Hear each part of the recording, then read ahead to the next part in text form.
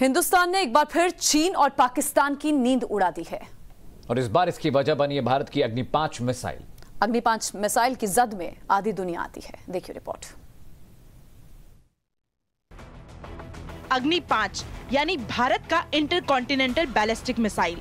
ये वो नाम है जिसे सुनते ही पाकिस्तान के होश उठ जाते हैं और चीन की हेकड़ी कल जब अग्नि पाँच ने आसमान का सीना चीरते हुए अपनी उड़ान भरी तो इसकी धमक पूरी दुनिया में सुनाई दी, क्योंकि 5000 किलोमीटर दूर तक सटीक निशाना लगाने वाली अग्नि पाँच मिसाइल की जद में आधी दुनिया आती है।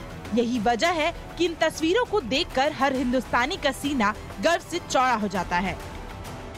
अग्नि पाँच इंटरकॉन्टिनेंटल बैलिस्टिक मिसाइल को डीआरडीओ यानी defence research and development organisation और भारत डायनेमिक्स लिमिटेड ने मिलकर बनाया है। लगभग आठ दशमलव एक छह किलोमीटर प्रति सेकंड की रफ्तार से दुश्मन की तरफ़ बढ़ने वाली अग्नि पाँच मिसाइल की स्पीड, साउंड की स्पीड से 24 गुना ज़्यादा है। यानी ये महज 10 मिनट के अंदर 5000 किलोमीटर दूर दुश्मन के किसी भी ठिकाने को नेस्ता नाबूद कर सकती है। खास बात ये है कि इसका निशाना अचूक है। इसे मोबाइल लॉन्चर से लॉन्च किया जा सकता है।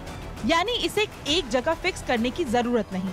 इसे ट्रक पर लोड करके किसी भी जगह पर ले जाकर फायर किया जा सकता है। इस मिसाइल के बारे में वैज्ञानिक एम नटराजन ने साल 2007 में पहली बार योजना बनाई थी। अग्नि पाँच इंटरकॉन्टिनेंटल बैलिस्टिक मिसाइल है। यानी ये पूरे एशिया के साथ साथ एशिया के बाहर, यूरोप और अफ्रीका में भी दुश्मन के ठिकाने को तबाह कर सकता है।